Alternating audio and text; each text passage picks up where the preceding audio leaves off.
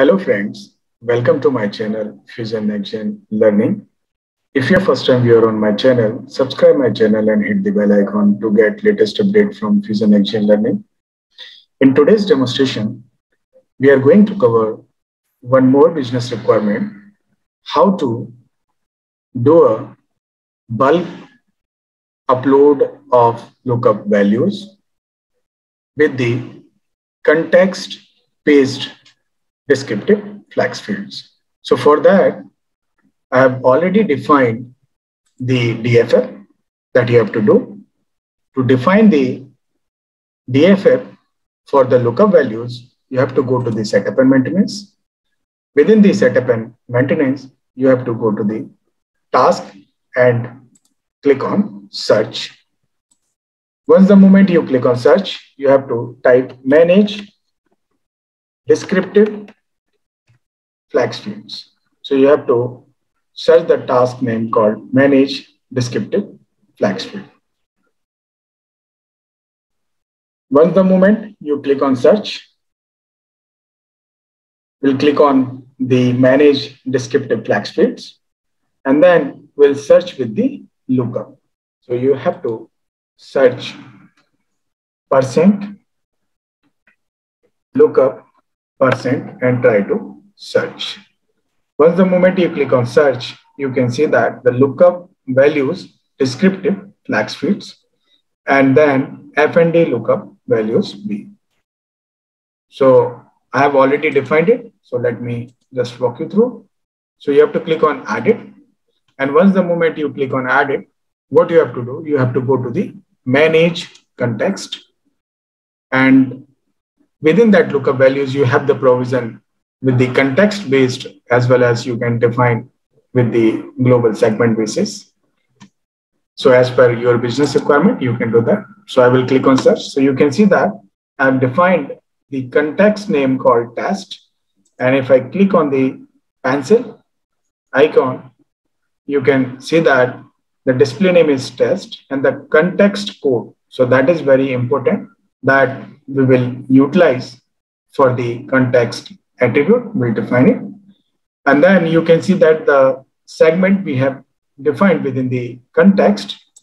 And if I click on the pencil icon, you can see that I have defined the segment name called test and the API name. So in my previous videos, we had observed, right, the API name. So that API name is very important if you're using the value set descriptive flex field or you are using the lookup values descriptive flex field. So both the context based as well as the global segment. So you have to use the API name. So we will note down. So let me create. So we'll utilize the API name. So our API name is test. And then my context code is test. So I will copy and capture that.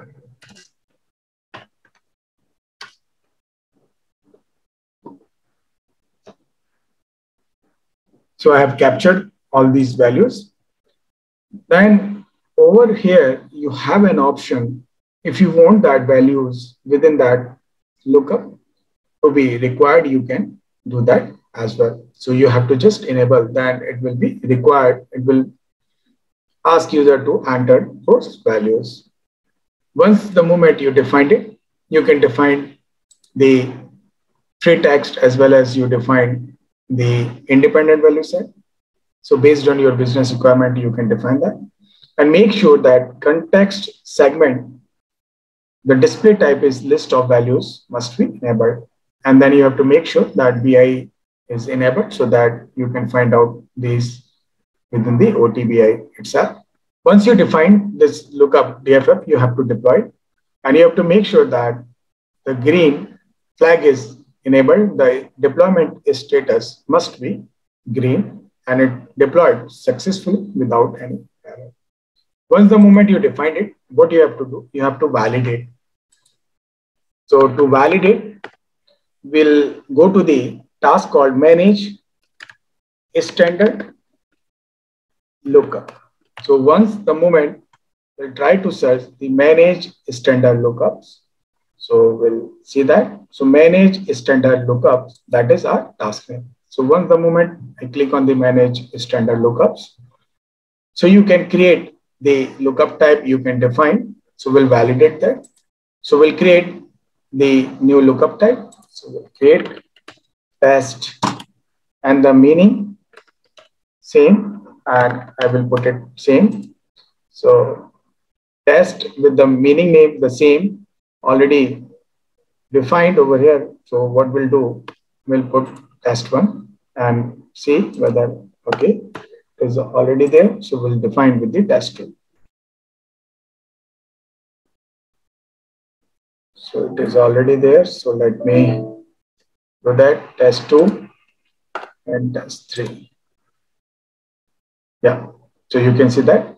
So we have defined lookup type name called test2 and then meaning is test3 and then the description, right?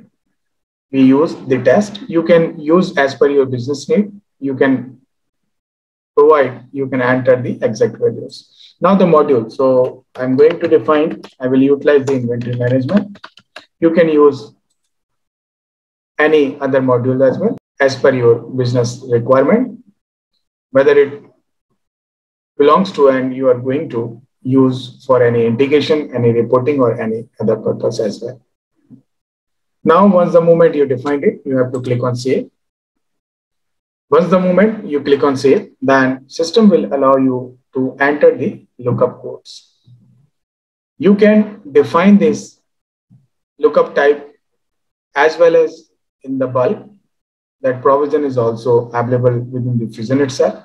So let's assume if you have hundreds of lookup type to be defined and all those values needs to be uploaded, then you can utilize that bulk functionality. If you're using one or two, you can create lookup type manually and you can use this functionality to upload all those values. Now, once the moment you click on plus, so we have defined context based, right? So for that, you have to click on expand this. So first we'll enter some value. So we'll enter lookup code one. Then the display sequence is one. And then the meaning is one. So we are just, you know, I just want to show you how you can see the context based. So once the moment you click on the expansion, then you can see that there's a context-based descriptive flex field is appear. And then in the drop-down, we have defined with the name of context so-called test. And once you choose that context segment attribute, then you can see that the segment we define the name with the test. And that is free text. So we can use whatever values we want? So now we'll see how to prepare the file for the upload. For that, what you have to do? So for that, let me open and show you. So within that, so we'll open this into Notepad++. So you can see that how it looks like. So you have to first enter the lookup type, then the lookup code, after that the display sequence, and then the enabled flag, then you have the start date and the end date. So if you're using that, keep it. If you don't want that to be enabled, then you just leave it. You can delete that and then meaning the description and the tag. So any of the fields. So meaning is important because it's mandatory. The description is optional. So if you don't have any lookup code the description you can delete. Here you can restrict the columns within that values as well as the tag. So tag is also optional so you can delete it. Either you kept it. So what you have to do you have to delete. So you just remove this and then you make sure there is no space. And if you want it to be added again then just put the pipe and then put tag so this is how you can enter and then you have to enter the context underscore attribute. So this column name, you have to keep it same exactly. So this is what we defined so-called test. And then you can see that we have defined the segment called test. So we are utilizing the API. So if you are using some other company, country, test, or maybe something else, then you have to utilize the API value over here from the segment. If you are not using the context based, then what you have to do, you have to simply delete this and then you have to put it API segment one, segment two, segment three. So you have to put it like by. So segment two API name. Then you have to put it segment three API name. So this is how, in case of if you are using the global segment. If you are not using the global segment, and if you are using the context base, then you have to enter the context attribute that you have to make sure. And then after that, you have to use the API name of it. So we have defined, now we'll define the lookup type. So we have defined the lookup type. So let me go to the UI. So we have defined so-called test2. So we'll go to the, and then we'll define test2. And then the lookup code. So lookup code is exactly what value you want to be upload. So I want it to be test. And then the display sequence. So display sequence is one. I want it to be displayed two because we have already used the display sequence as one and we have already saved this record. So we'll upload display sequence two. After that, what we have, we have the enabled flag. So for enabled flag, you have to use as Y and then the meaning. So meaning I'm using. So what I will do, I will put meaning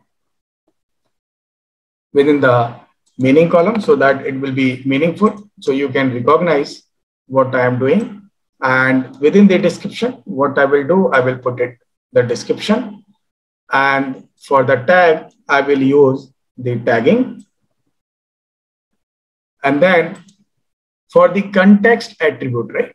So we have noted down the context attribute. So the code is test. So I use as a test.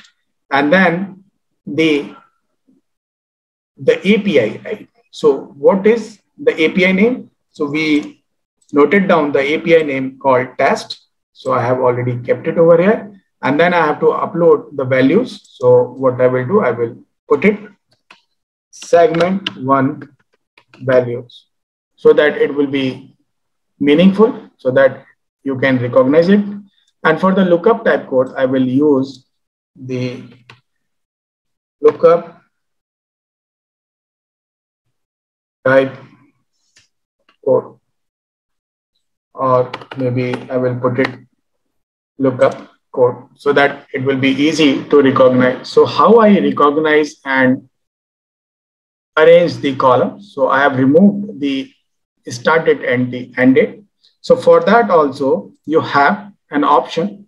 So what you have, you have the lookup type, lookup code, display sequence enabled and after that, enabling the flag, you have the start date active and the end date active. So these two columns you have to add if you want it to be uploaded in a bulk because these two values are optional. So it depends on the business requirement whether they want it to be uploaded or they don't want it to be uploaded. So I removed it over here and then I kept it the meaning, then the description, tag, context attribute, and the test. So what I will do, I will save. So I've already defined and change CSV to pipe within the Notepad++ and it is ready to proceed for the upload. So for the formatting purpose, you can refer our previous videos, how to arrange the columns in the Excel, then convert into CSV and how CSV, the comma delimited to be converted into pipe within the Notepad++ and do the bulk upload. So I will utilize the one values to be loaded. And let me little bit zoom so that it will be easy for you guys to note. So you can see that lookup type, lookup code, then the display sequence, enabled flag, the meaning, the description, tag, context, attribute, and the test. I will mention all these columns in the video description so that it will be easy for you to take it. And also you can type it, you can see that. And the same format you have to utilize. So I save the record. And then now I'm ready for the upload. So for the upload, what I have to do, I have to go to the navigator, tools, and then file import and export. Within that, what I have to do, so let me show you. So navigator and then tools, and you can see that file import and export. So you have to click over there and then over here you have to click on plus and then what you have to do, you have to choose your files. So you have to choose your file. So I use this file. So let me use that file. And then I will click on open. So you can see that get loaded lookup.csv. So I have to note down this file name because the same file name will be utilized for uploading the values within the lookup.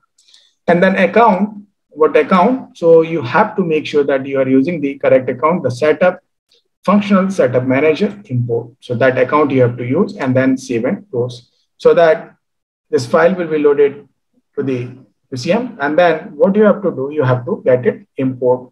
So we'll switch and then you can see that the lookup type, right? Within the lookup type, I want to import the values. So you have to select the lookup type, the line, and then you have to click on actions, and then you have to click on import. Once the moment you click on import, you have to choose the correct account. So we are using the import one. And then over here, you can see that, as I mentioned earlier, right, you can do a bulk creation of the lookup type. You can use this field for import. And if you are using the values, then you have to use this one. So what you have to do, you have to use lookup.csv because that is what the name, the file we have uploaded. Now you have to simply click on upload. Once the moment you click on upload, you have to wait till that file processed. So once the file get processed successfully, then if you want to validate, you can download the log file as well. So once you click on the log file, you can see that the log file got downloaded. And if you want to validate that how many records inserted and how many records in error. So you can see that the total records processed one and the new records inserted one. So there are no records updated and no records get in error. So now we'll validate the values. To validate the values, what we will do, we will try to again re-query that lookup. And once the moment I click on search, you can see that the lookup code get uploaded. The display sequence is two, enabled flag is enabled, and then the meaning populated into meaning. Description is in description column, and then tag within the tag column. And then if you try to expand this, you can see that the context segment populated as a test, and then the test, the segment values got uploaded as a segment one values. So we have uploaded the same. So you can see that we have uploaded segment one values within the test segment. And then the context attribute we have updated as a test. So you can see that it got successfully uploaded. So you can upload the more records and you can achieve your business requirement. Thank you. Thank you for watching my channel, Fusion Nexgen Learning. Keep subscribing, keep watching. Happy learning.